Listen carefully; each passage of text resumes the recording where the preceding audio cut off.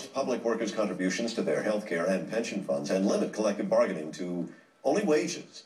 Other union powers and perks will be stripped, and therein lies the heart of the controversy. And it's not unique to Wisconsin.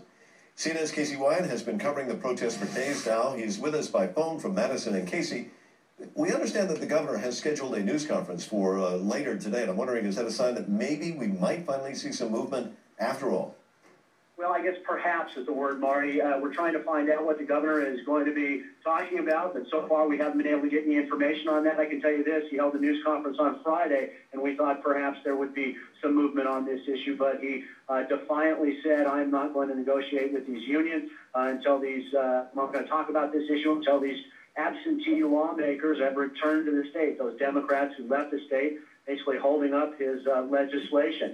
What's happening outside the state capitol right now is a, a small number of uh, protests circling the state capitol, people who are upset about this uh, proposed bill that would uh, strip the public employee unions of many of their collective bargaining rights. And I'm standing outside because inside is where all the action is. If I was standing inside the state capitol and perhaps we're showing some video of, of that scene earlier, you wouldn't be able to hear me talk. It's so loud. There are thousands of people in there showing their opposition uh, to this legislation. They're going to be joined by a couple of uh, celebrities, Morello of uh, Rage Against the Machine, and uh, also Green Bay Packers uh, defensive back Charles Woodson is expected to make an appearance in support of these protesters. The Tea Party leaders say they are here, but we have not seen any of these Tea Party uh, supporters of the governor that were in evidence over the weekend. Right now, we're just uh, waiting to hear what the governor has to say later today to see if there's any movement in this impasse, Martin.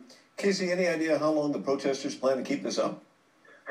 Indefinitely, they say. They say they're not going to go anywhere until uh, they are assured that the collective bargaining rights of these public employee unions to be respected. And, and even those union members who are not impacted by that, this, the firefighters and the police, they joined some of these protesters over the weekend, walking in to a dramatic round of applause. So uh, it doesn't seem like they have any plans to go anywhere anytime soon. And what about those AWOL Democrats? Have they reported in? Anybody know where they are?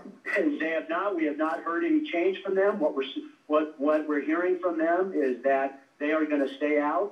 Uh, they do feel a sense of accomplishment that uh, they were able to slow this legislation down and give these protesters a chance to have their voices heard over the weekend. I imagine they're waiting to hear what the governor has to say before they'll decide whether they're going to come back. Yeah, a lot of waiting going on. Casey Wian in the thick of it there in Madison. Thanks very much.